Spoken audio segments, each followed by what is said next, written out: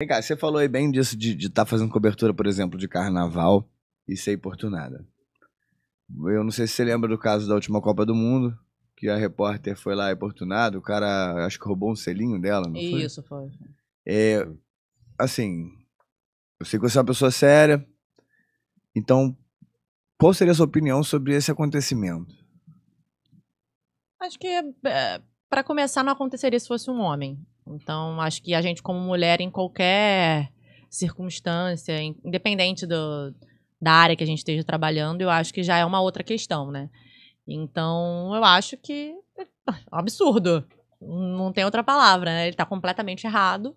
Não tem que fazer isso. Se fosse um homem, não, ele não agiria assim, né? Eu acho que uma mulher também dificilmente agiria assim com ele. Ou se agisse com ele, não teria a mesma interpretação do que um homem fazendo isso. Não, não teria, lógico. E enfim, acho que eu, no lugar dela, também não, não. Porque às vezes a gente fica sem reação, né? Porque a gente não, não tá nem esperando. Lógico, longe das câmeras, a reação e a gente seria um tá, tapa na cara. A gente tá no nosso é... trabalho, né, também. Então, assim, se eu não tivesse ao vivo ou alguma coisa, eu acho que eu teria, né, agido até com mais.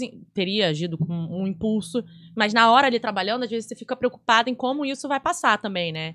Então a gente, eu acho que é uma violação dupla, né?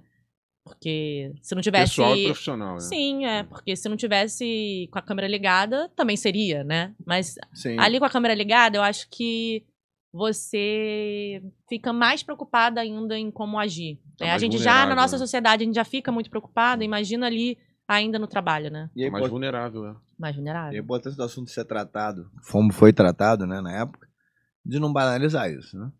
De não banalizar. Não banalizar. E trataram bem sério e tal. Botaram até o vídeo de um repórter, eu acho que na Copa anterior. Ele tava falando, aí veio as mulheres, ô, guapo, começaram a cercar ele e tal. Mas, cara, qual é a primeira parada da situação? Ele ri e dá tchauzinho. Ou seja, E brincou. ele brinca de volta. Coisa que a menina não fez. Sim. Daí você já quebra qualquer comparação que possam fazer. Ah, lá, era um homem, não teve isso. Tudo bem, mas o cara brincou de volta antes delas chegarem perto.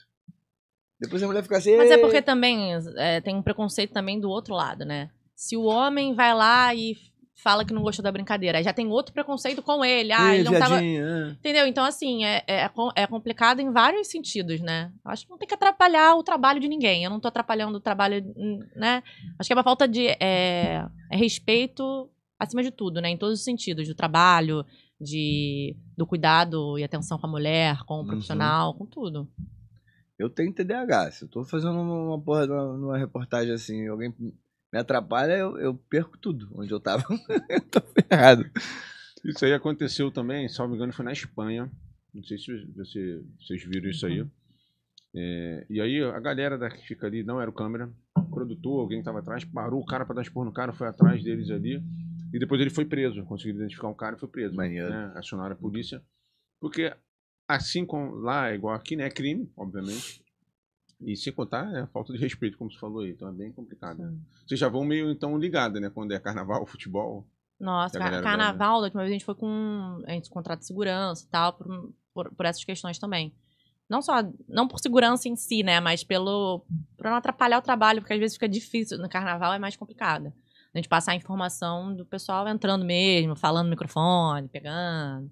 Então, assim, é, é mais complicado. Mas às vezes no dia a dia, na rua mesmo, a gente para na rua pra fazer uma passagem, pra fazer uma gravação. O pessoal, às vezes, de gracinha, tocando, buzinando.